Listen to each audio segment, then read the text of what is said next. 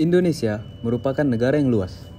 Indonesia terdiri dari 38 provinsi dan bahkan terdapat 418 kabupaten dan kota di Indonesia. Dengan banyaknya daerah tersebut, diperlukan infrastruktur sebagai sarana penghubung konektivitas antar wilayah kota dan provinsi.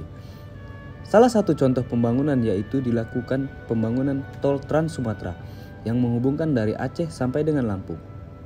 Jalan tol dinilai menjadi salah satu sarana efektif untuk menyuplai kebutuhan masyarakat. Indonesia merupakan negara keempat dengan jumlah penduduk terbanyak di dunia. Hal ini menimbulkan permasalahan terbatasnya lahan dan sulitnya untuk melakukan pembangunan permukiman secara horizontal.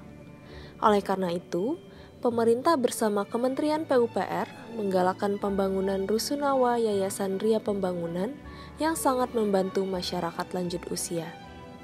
Dalam membangun infrastruktur, PUPR mengupayakan penyediaan fasilitas ramah disabilitas.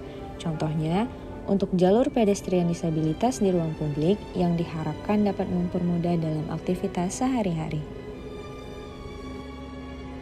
Pembangunan infrastruktur diperlukan untuk memacu pertumbuhan ekonomi. Maka dari itu, kami insan PUPR siap menjalankan tugas secara profesional serta bertanggung jawab untuk memberikan yang terbaik demi kemajuan infrastruktur Indonesia.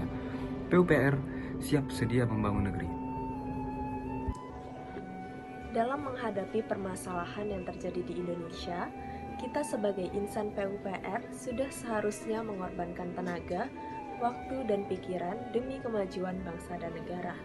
Hal tersebut dapat dilakukan dengan melakukan pembangunan infrastruktur yang cepat, akurat, efisien, dan berkualitas.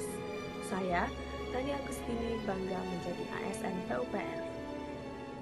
Komitmen dalam mendorong pembangunan infrastruktur di Indonesia diwujudkan dengan mengedepankan fasilitas publik yang sesuai dengan standar kenyamanan, keamanan, dan keselamatan bagi penyandang disabilitas sudah selayaknya mendapatkan akses atas fasilitas serta hak yang sama. Sebagai ASN yang setia kepada Pancasila, tugas kita adalah merawat fasilitas yang ada agar berfungsi dan bermanfaat bagi halayak. Saya Fitra Putri Desanda, bangga menjadi ASN PUPR.